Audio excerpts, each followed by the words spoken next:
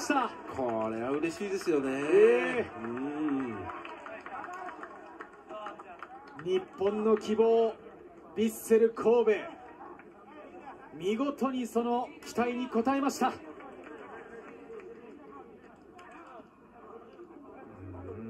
ウルさんの待つ準決勝進出です。それでは今日の試合ハイライトで振り返ります。一都市集中開催このカタールのドーハで行われています。アジアチャンピオンズリーグ準々決勝です。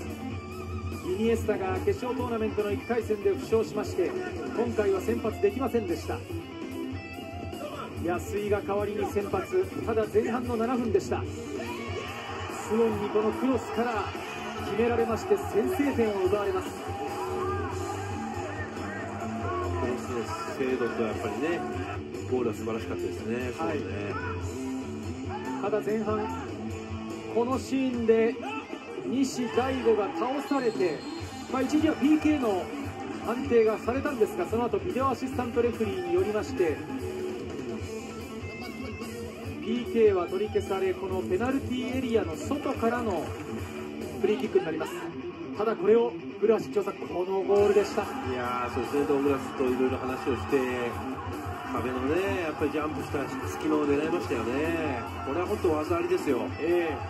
こで退場になってこのゴールで追いついたのが大きかったですね。ーこれで1対1 1人多いという状況でヴィッセル神戸戦いましたが90分では決着つかず延長戦。この延長でも決定的なシーンが何度かありました。あそうですね。ここもまあ本当ボールがやっぱり浮きましたしね。ちょっとアンラッキーでしたね、はい。そして延長後半の残り8分というところでイニエスタ投入。ここはもう絶対絶命のピンチでした。いやーこれ山口蛍選手がねよくカバーリング入りましたしね、はい最後ポストですからね。救われましたよ。山口蛍クリアして最後はポストに救われて口のクリア。このピンチをなんとか防ぎました。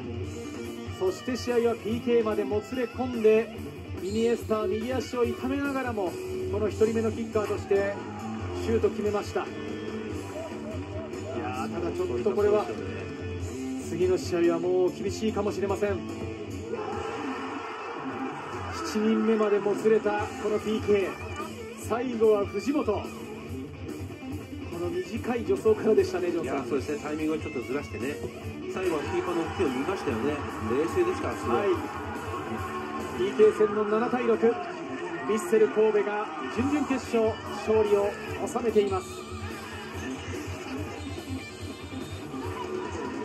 これでウルさんの待つ準決勝に進んでいますさあ改めてこの組み合わせご覧